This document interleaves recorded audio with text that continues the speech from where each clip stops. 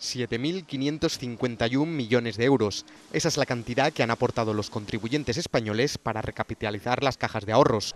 El Estado, por tanto, toma el 93% del capital de Nova Caixa Galicia, el 90% de Cataluña Caixa y el 100% de UNIM, según ha anunciado el gobernador del Banco de España, Miguel Ángel Fernández Ordóñez.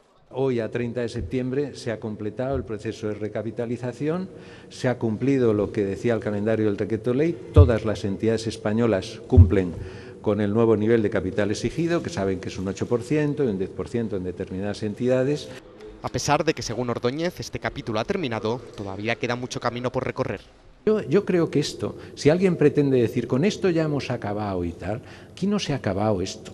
Yo creo que cualquiera sabe que la crisis no solo no se ha acabado, sino que está en un momento, en este momento duro. El portavoz del Gobierno, José Blanco, ha valorado positivamente la reforma porque ha dado lugar, según sus palabras, a un sector financiero más fuerte. Las cajas han traspasado su actividad financiera a una estructura propia de un banco. Estas provisiones suponen un escudo del sector frente a posibles pérdidas a futuro. Mientras que el coordinador de Economía del Partido Popular, Cristóbal Montoro, ha dicho que se ha llegado tarde.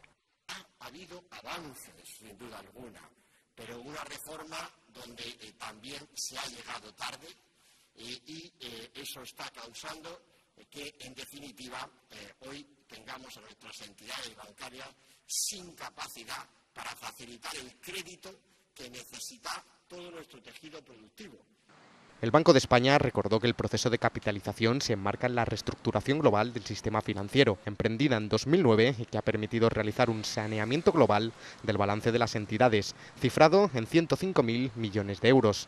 Además, ha permitido redimensionar el sector de las cajas de ahorros, que ha pasado de 45 a 15 entidades.